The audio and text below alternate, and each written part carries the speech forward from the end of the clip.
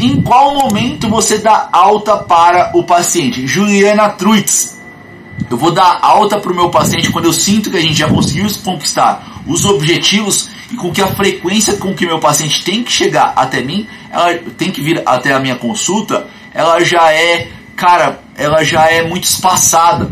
Então, por exemplo, tem paciente que eu vejo uma ou duas vezes por ano no máximo. Eu falo, cara, não tem por que você vir aqui. Eu gosto só de fazer esse monitoramento.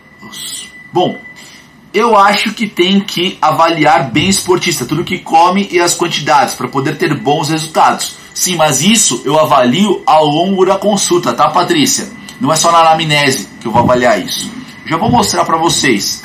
Nossa, já deu 40 minutos de, de live, eu não saí nem do primeiro tópico, velho.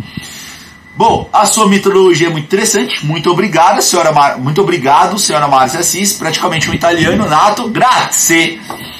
É, em qual momento você dá alta para o paciente? Juliana Truitz.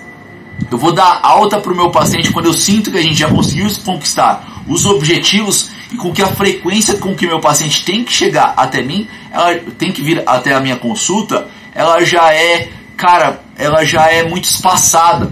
Então, por exemplo, tem paciente que eu vejo uma ou duas vezes por ano no máximo. Eu falo, cara, não tem por que você vir aqui. Eu gosto só de fazer esse monitoramento meio que à distância para que o paciente ele se sinta ali, como que eu posso falar, que sinta que tem alguém do lado dele, tá? Lembra que você está cuidando de uma pessoa, você está cuidando da saúde de alguém. Então eu não gosto tipo de falar simplesmente não venha mais. Eu começo a dar espaço, espaços maiores entre as consultas. Eu falei para vocês que eu não ofereço é, retorno, eu sempre trabalho com consulta atrás de consulta. As primeiras consultas eu vejo meu paciente a cada seis semanas.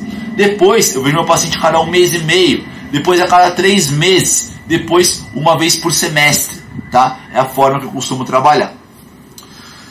Uh, professor, não sei se, se você já falou, mas costuma dar intervalo de quanto tempo entre cada consulta, já que não dá retorno. Márcia, eu acho que eu acabei de responder a sua pergunta. Bom, vamos dar continuidade aqui para nossa live. Então esse é o passo 2. É o passo em que eu explico a minha metodologia de trabalho para o paciente